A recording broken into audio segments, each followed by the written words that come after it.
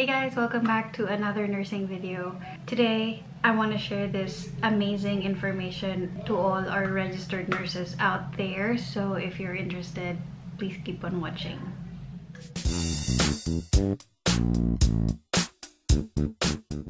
Disclaimer, I am not affiliated with their company. I am just here to tell you guys that they are directly hiring overseas registered nurses.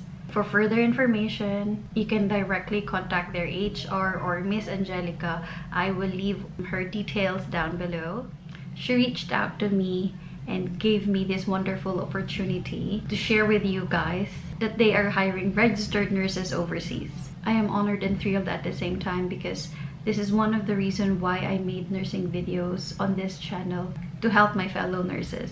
So this is it guys. I'll make it brief. We'll make it straight to the point if you are interested in moving in New Zealand, this video is for you. So FYI, before we start, they are not a recruitment agency. They are a care home. Their name is Radius Care. They have 24 facilities all over New Zealand.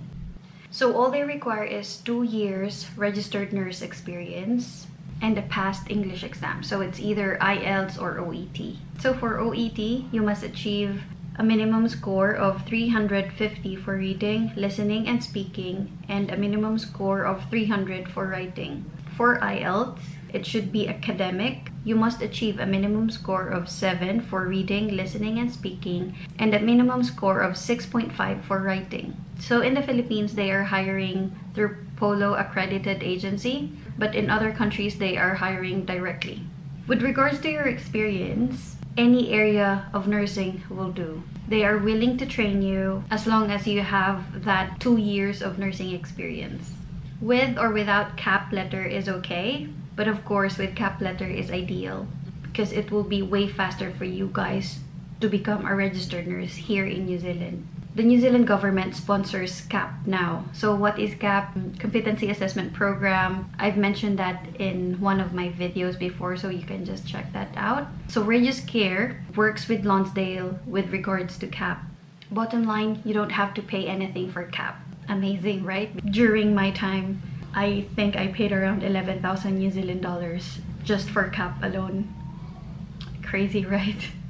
All you need to pay for is your CGFNS, that is the verifications of all your credentials. That's gonna be 300 US dollars. Nursing Council application and processing fee is 485 New Zealand dollars. Your English exams, OET is 587 Australian dollars and IELTS ranges between 245 to 255 US dollars. Now I know you wanted to ask about the salary. It depends on your experience, so it may really differ. But just to give you an idea, for healthcare assistants, which you will be, because you will still have to undergo your CAP here, they will offer you around 28 New Zealand dollars per hour. Once you become a registered nurse, it is gonna be around 32 to 39 New Zealand dollars per hour. Usually, if it's full-time, it is 40 hours per week. So you do the math. So this is a permanent contract. They offer roster flexibility, discounts, career progression, and many more. So if you got an offer, please do take your time to read your contract. Everything is there. If you got any queries, please do talk to your employers about it. So if you're interested in moving in New Zealand, definitely this is a no-brainer. It's way easier to become a registered nurse here now than what we've done before because the government is giving you a free pass for doing your CAP. So definitely this is a big help because coming here paying for all the expenses doing your CAP is not a joke.